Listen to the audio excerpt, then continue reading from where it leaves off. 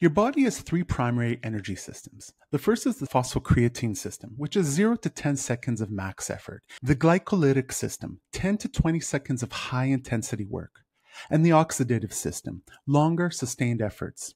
Most wrestlers train each system separately sprints for power, middle distance intervals for anaerobic capacity, and long runs for aerobic base. But here's what they miss the transitions between these systems.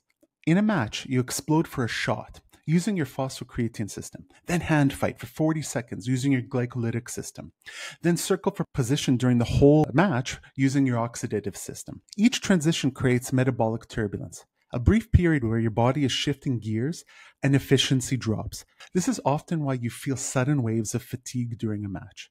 Elite wrestlers train these transitions specifically. They use interval protocols that stress the metabolic shifts 8 seconds of maximum effort, then 35 seconds of moderate work, then 90 seconds of lower intensity, repeated until the body learns to shift smoothly. This is why some wrestlers seem to have a second wind.